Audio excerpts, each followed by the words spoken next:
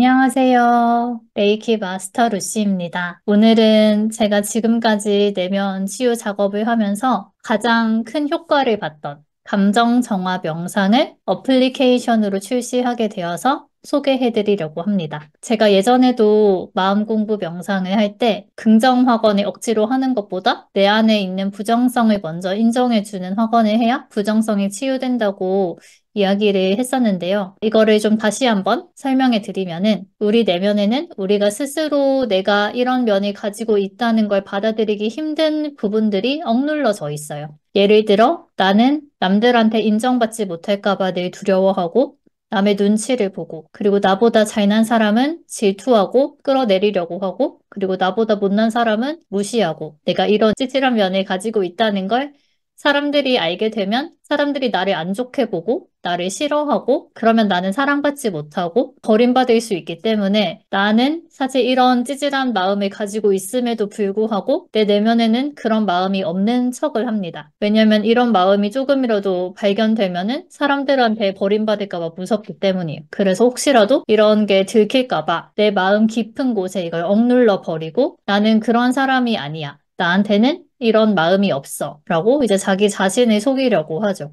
그렇지만 이렇게 억눌러진 감정은 억누른다고 없어지는 게 아니라 무의식 깊은 곳에 남아 있습니다. 그래서 우리가 경험하는 현실은 다 내 내면의 마음의 반영이다. 이런 이야기를 하죠. 그래서 이렇게 억눌러 놓은 마음도 우리 현실에서 그대로 반영이 되어서 부정적인 경험으로 발현이 됩니다. 내가 치유하지 못했던 감정을 이 현실은 내가 다른 사람을 통해서 거울처럼 어, 다른 사람이나 어떤 다른 사건을 통해서 이 감정을 경험하게 만들어요. 그래서 내가 인정받지 못하는 그런 현실을 만들고 남의 눈치를 자꾸 봐야 되는 상황을 만들고 나를 무시하는 사람들로 현실에서 나타나게 됩니다. 이렇게 무의식에 억눌린 감정이 있다면 아무리 긍정 확언을 해도 부정적인 현실이 사라지지 않아요. 이 부정적인 현실이 사라지게 하는 법은 이 무의식에 억눌린 감정들을 해소하는 것입니다. 이걸 해소하는 방법은 이 감정을 온전히 있는 그대로 허용하고 느껴주는 것이에요. 나는 남한테 무시당하면 안 돼. 나는 남을 질투하면 안 돼. 찌질하면 안 돼. 이런 감정들을 느끼는 것을 내가 허용하지 않았기 때문에 무의식 깊은 곳에 억눌러져 있는 것이죠. 그래서 이 억눌러진 감정들이 수면 위로 드러나서 풀리려면 내가 먼저 이런 감정을 느껴도 괜찮다고 허용을 해주어야 합니다. 그래서 이 허용하는 걸 다들 어려워하시죠. 머리로는 내가 이걸 받아줘야 되는 걸 알겠는데 마음으로는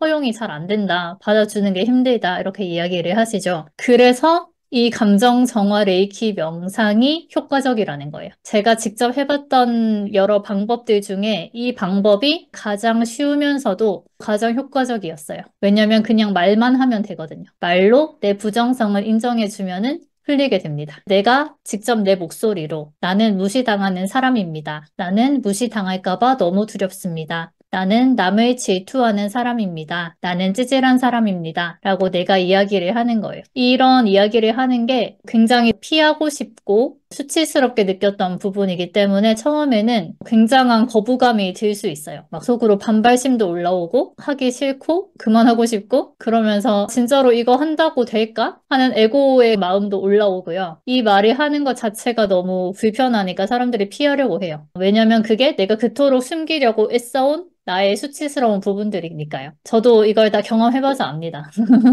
저도 이거 해야 되는 거 알면서도 하기 싫어서 막 계속 막 딴짓하다가 핸드폰도 한번 봤다가 막 이러면서 이제 겨우겨우 하고 막 그랬던 적이 많거든요. 그래서 이 감정정화 레이키 명상을 추천하는 것이에요. 이 명상법을 제가 알게 된 것은 김학선 선생님이라는 마음 PT 프로그램을 운영하시는 마음에 대한 코칭을 하는 선생님이 계신데 그 선생님이 그 스크립트를 직접 만드셨고, 그리고 녹음도 직접 하셔서 파일을 유료로 판매를 하셨었어요. 그래서 제가 그 파일을 구매를 해서 이 명상을 시작을 해 보았습니다. 이 파일들은 감정을 수용할 수 있는 그런 문장들로 구성이 되어 있어요. 그래서 선생님이 처음에 한 문장을 한번 읽으면은 뒤에 약간의 쉬는 구간이 있어서 이거를 따라서 우리가 이야기를 할 수 있게 되어 있는 그런 파일이었어요. 그래서 한마디 하면 또 한마디 따라하고 이런 식으로 구성이 되어 있고요. 그리고 선생님께서 녹음하실 때 그 감정의 깊은 곳까지 내려가셔서 녹음을 하셨기 때문에 따라서 말하는 사람도 깊은 감정으로 빠져들어서 좀 더 감정이 잘 올라올 수 있게 만들어져 있어요. 그래서 한번 이거를 틀면은 파일이 끝날 때까지 어쨌든 반복해서 계속 하게 되기 때문에 하다가 딴 생각이 올라와도 파일에서 또 이야기를 하니까 또 그대로 따라 하게 되고 이런 식으로 자동적으로 계속 명상을 하게 되고요. 그리고 회피하고 싶은 마음이 그렇게 하니까 좀 덜 올라오면서 좀 더 편안하게 억눌린 감정들이 더 마주하고 인정하고 느껴줄 수가 있었던 것 같아요. 그래서 저는 이 명상을 거의 한 1년 이상 이제 해왔고 그러면서 엄청난 이제 많은 효과들을 봤죠. 그래서 제 내면 무의식에 억눌린 감정들이 정 화가 엄청 많이 되었습니다. 저도 수치심도 많이 강했고 또 완벽주의도 있고 성격도 되게 급하고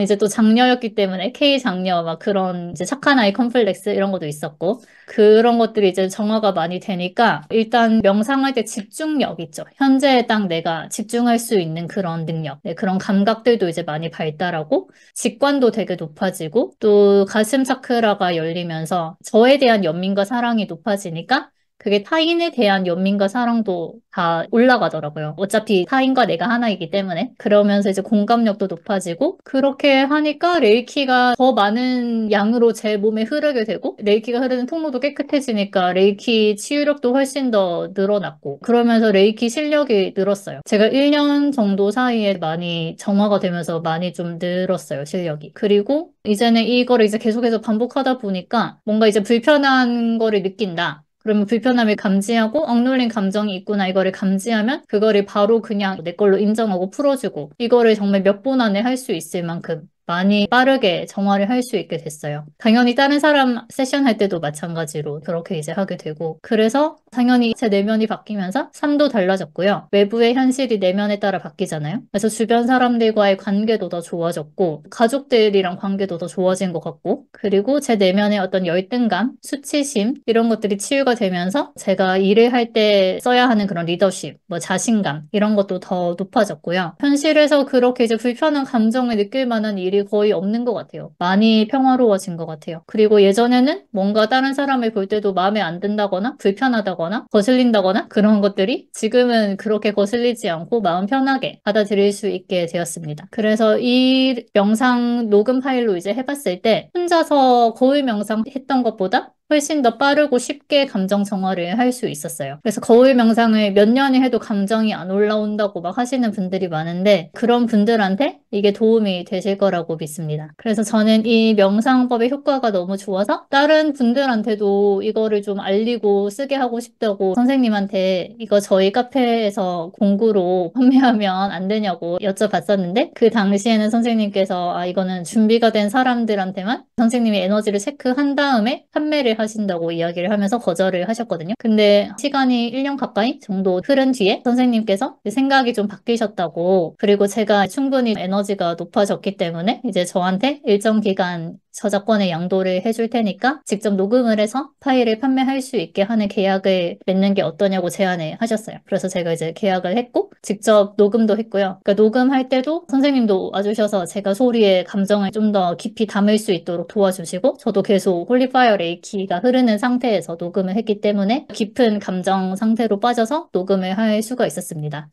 그래서 이게 녹음을 몇 시간 만에 그 무시 감정부터 죽음에 대한 감정까지 했더니 저도 계속 정화가 되면서 계속 배가 꼬르륵거리고 좀 힘들었어요. 하면서 아무튼 그렇게 이제 녹음을 하고 어, 그 녹음본 편집하는데 또 한 달 걸리고 그리고 또 이거를 어떻게 배포할까 하다가 온라인 스트리밍 서비스를 사용할까 고민을 했었는데 그게 이제 인터넷이 되는 환경에서만 되더라고요. 그래서 그게 좀 아쉬워서 휴대폰 어플로 이제 다운받아서 인터넷이 안 되는 환경에서도 언제든지 들을 수 있도록 이렇게 제작을 하게 되었습니다. 그래서 어플 제작하는데도 지금 두달 달 넘게 걸려서 시간이 이렇게 많이 지났네요. 그래서 녹음본은 무시, 열등과 시기 질투 감정, 네, 수치 감정, 빼앗기는 감정, 버림받는 감정, 죽음에 대한 감정, 인정 욕구, 사랑받고 싶은 욕구, 그리고 무시해서 죽음까지 일상의 감정 진화 과정 정화하기, 그리고 기타 일상에 감춰진 욕망을 해방하고 정화하기, 그리고 마지막으로 다양한 결핍 감정들로 구성이 되어 있습니다. 그래서 첫 번째 무시 감정이 이제 가장 올라오기 좀 쉬운 감정이고 죽음으로 갈수록 점점 가장 깊은 곳에 있는 감정이기 때문에 1번부터 순서대로 하시고 어느 정도 감정이 해소됐다고 생각하면 다음으로 넘어가고 하시면 좋아요. 그리고 이거를 하는 방법은 입으로 크게 소리를 내어서 말하는 방법으로 하셔도 되고 아니면은 그냥 입모양으로 속삭이듯 작게 소리 내면서 하셔도 되고요. 그리고 입 밖으로 소리를 내지 않고 그냥 마음속으로 문장을 말하실 수도 있습니다. 상황에 맞는 방법을 선택하셔서 하시면 되고요. 그리고 명상을 하면서 감정이 올라올 수가 있어요. 네, 그래서 좀 방해 없이 혼자서 편안히 울 수 있는 그런 환경에서 하시는 게 더 좋은데 어, 뭐 대중교통을 이용할 때나 일상에서도 언제든지 하실 수가 있어요. 그리고 모든 문장들은 처음에는 반복할수록 불편한 느낌과 또 거부감이 올라올 수가 있습니다. 여러분들이 지금까지 살아오면서 정말 감추고 싶고 피하고 싶고 부정하고 싶은 내용일수록 불편한 반응이 더 크게 올라올 거예요. 네, 그러면서 신체 반응도 일어날 수가 있어요. 뭐 하품이 난다거나 눈물이 나고 울음이 터지고 아니면 배에서 뭐 꼬르륵 거리면서 장기가 움직이고 뭐 헛구역질이 날 수도 있고 기침이 날 수도 있고 뭐 트림이 날 수도 있고 내 무의식 속에 강하게 억눌린 감정일수록 이렇게 거부감과 신체 반응과 이런 것들이 많이 올라올 수가 있어요. 그래서 불편함이 느껴진다면 아, 내 마음 깊은 곳에 감정이 이렇게나 억눌려져 있었구나 하고 느껴주고 받아주면서 그 존재를 인정해주면 됩니다. 그동안 내가 미처 알지 못했던 나의 모습을 받아들여 주는 것이에요. 그래서 이 문장을 반복해서 이야기하면 할수록 거부감과 불편함이 점점 강도가 약해지면서 나중에는 덤덤해지고 가벼워지는 순간이 옵니다. 충분히 그 감정을 받아들이고 나면 이제 정화가 다 되었기 때문에 더 이상 불편하지 않은 상태가 되고 별로 감정이 올라오거나 하지 않을 거예요. 그러다가 시간이 좀 지난 후에 내가 현실에서 다시 또 뭔가 불편한 감정이 든다면은 이 감정이 어떤 감정이지 무시 당하는 감정인가? 아니면 수치에 대한 감정인가? 감정을 찾아서 그 파일을 다시 들으면서 다시 반복하면서 소리를 내면서 정화를 해주시면 됩니다. 어떻게 하는지 아시겠죠? 어플리케이션을 다운받으신 후에 설치하시면 이렇게 화면에 메뉴들이 뜨고요. 명상하시기 위해서 제일 위에 명상 시작하기를 누르시면 됩니다. 그러면 이렇게 파일들이 10개가 뜨고요. 유료 회원이신 분들은 10개가 다 열려 있고 유료가 아니신 무료 회원이신 분은 1번 파일 무시만 열려 있을 거예요. 원하는 파일을 선택하시고요. 무시 감정의 정화입니다. 나는 무시당하는 게 너무 두렵습니다. 나는 무시당하는 게 너무 두렵습니다. 나는 무시당하는 게 너무 두렵습니다. 나는 무시당하는 게 너무 두렵습니다. 네, 이런 식으로 반복해서 따라 읽으시면 됩니다. 그래서 이 감정들이 충분히 올라오고 충분히 해소가 되었다고 생각이 들면 2번으로 넘어가시고 이렇게 진행을 하시면 되겠습니다. 그래서 이 어플리케이션 가격은 66만 원이에요. 비싸죠? 비싸다고 생각 드실 수 있어요. 저도 처음에 구매할 때 좀 비싸다고 생각을 했었거든요. 근데 직접 체험을 해보시고 현실이 변화하는 걸 경험하시면은 아, 결코 비싼 가격이 아니고 오히려 가치에 비해서 너무 저렴하다고 생각하실 거예요. 저는 만약에 과거에 다시 그 구매하는 시점으로 돌아가서 이거를 만약에 300만 원에 판매하셨다고 해도 구매했을 것 같아요. 왜냐면 제가 얼마나 이걸로 인해서 혜택을 보고 얼마나 삶이 달라졌는지 아니까요. 그래서 이 녹음 파일에 우리가 살면서 겪을 수 있는 그런 거의 모든 감정이 다 들어있기 때문에 삶의 웬만한 문제들과 관련된 감정들을 다 풀어주실 수가 있으실 거예요. 그래서 이 녹음본의 효과를 여러분들이 경험하실 수 있도록 10개 파일 중에 1번 파일인 무시 감정 정화를 제가 유튜브에 따로 업로드를 해 놓겠습니다. 매일 하루에 한 두 번씩 반복해서 따라 하시면 무시 감정이 올라오면서 그것들을 이제 느껴주고 또 풀어지는 것을 경험을 하실 수가 있으실 거예요. 그리고 이 어플리케이션 구매는 제가 스마트 스토어 링크를 설명란에 첨부를 할 테니까 거기서 하시면 되겠습니다.